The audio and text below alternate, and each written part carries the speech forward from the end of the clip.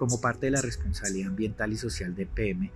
y como cumplimiento a las compensaciones ambientales establecidas por las autoridades ambientales por la construcción y puesta en operación del proyecto Línea de Transmisión de Energía eh, Eléctrica Nueva Esperanza, EPM adquirió cinco predios en el departamento de Cundinamarca, ubicados en los municipios de Oaxaca, Huasca, Guatavita y Cibaté. Estos predios serán entregados a las administraciones municipales una vez se culminen con las acciones de conservación y restauración que se vienen ejecutando en el marco del convenio EPM Fundación Natura. Para formular e implementar los planes de compensación, EPM hace un convenio con Fundación Natura, precisamente en reconocimiento de los más de 35 años de experiencia que tiene la Fundación, trabajando en procesos que ayuden a disminuir el deterioro ambiental de los ecosistemas naturales colombianos, siempre generando procesos que permitan la sostenibilidad de los procesos a futuro.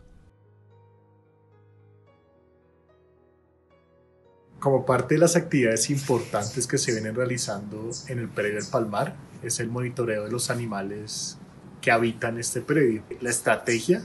para hacer este monitoreo es mediante cámaras trampa que funcionan como un investigador escondido que cada vez que un animal pasa enfrente de esa cámara trampa toma un video sin que el animal se dé cuenta. Esta estrategia es muy útil y muy efectiva y nos ha permitido encontrar especies como el borugo de páramo, el tigrillo, comadrejas, el venado cola blanca, la pavandina y por supuesto una de nuestras estrellas del lugar que es el oso andino y que puede visitar este predio porque hay presencia de su alimento. Se dice que donde hay oso hay agua y si hay agua hay vida y al saber que el oso se mueve en nuestros predios, que vive en nuestro páramo,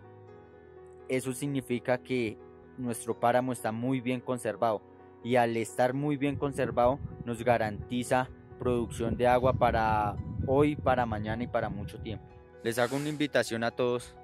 a que vengan y conozcan este lindo ecosistema que tiene nuestro páramo.